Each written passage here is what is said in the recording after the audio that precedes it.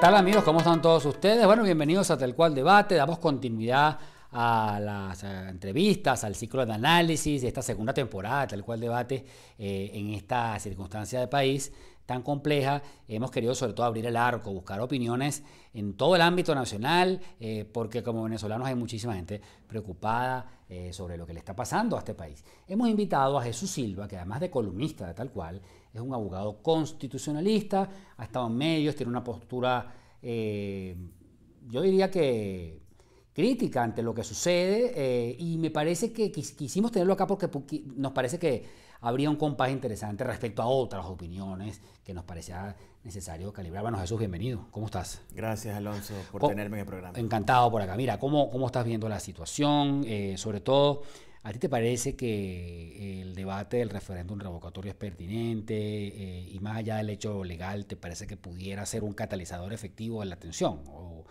ese debate te parece que no tiene sentido? Yo creo que el país necesita una válvula de escape. Estamos atravesando una crisis política que se combina con una terrible crisis económica, que poco habíamos visto estos niveles en los años de chavismo, 18 años de chavismo. Y creo que eso obliga a buscar una salida dialogada, consensuada entre ambos polos. Y por eso la alternativa del referendo revocatorio, independientemente de su desenlace, que puede ser revocatorio o ratificatorio, si el chavismo lo ganara, por supuesto. creo que es necesario. En el 2004 se hizo un referendo revocatorio. Eh, la recolección de firmas y su celebración tardó aproximadamente cuatro meses.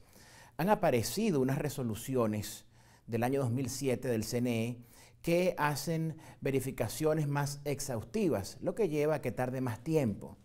Respecto a que esto sea constitucional o no, es un punto a debatir. Por eso yo le he aconsejado a la oposición que recurra a una vía judicial para que demande la inconstitucionalidad de esas resoluciones que, hacen que el referendo se alargue y de allí es que surge el argumento de que no pudiera ser este año, sino el año que viene. Porque fíjate tú, Jesús, eh, después de las elecciones a gobernadores y alcaldes del 2007, que el chavismo ganó, ganó con cierto apuro, perdió plazas importantes en todo el país, pero ganó, digamos, el grueso, el, el país nacional, la Venezuela profunda.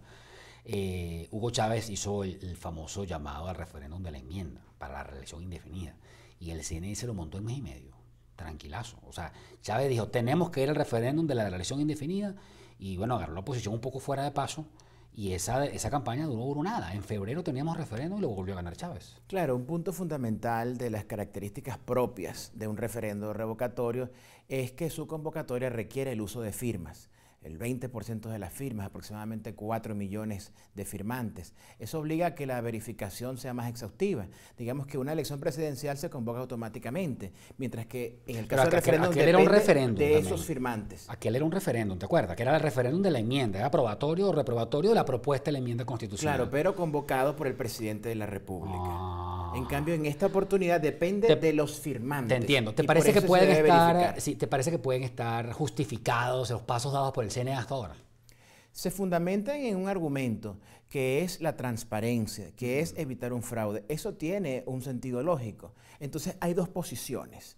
Una, la de verificación profunda de las firmas, que es la postura del chavismo. Otra es la brevedad para respetar la expectativa de derecho que tienen los solicitantes. Esa es la posición de la oposición. Bueno, y hay un tercer marco, perdóname, porque es que en los análisis constitucionales, seguramente estarás de acuerdo, eh, los análisis legales, los marcos para arreglar diferencias tienen que tener como entorno pues, lo que pasa en el país, la situación social y económica, ¿no te parece? Por supuesto. De lo que se trata es establecer un escenario que sea lo más convincente posible, lo más respetuoso para ambos polos, para que una vez que ese escenario se monte, sea satisfactorio para ambas partes. Por eso, mi propuesta, mi sugerencia para la paz del país, para que no haya violencia en las calles, para que no se reproduzca el escenario violento de 2014, es ir a una vía judicial, con juicio oral, público, breve, si es posible hasta televisado, donde ambas partes expongan sus alegatos y se decida. Pero esos jueces no son chavistas ahorita.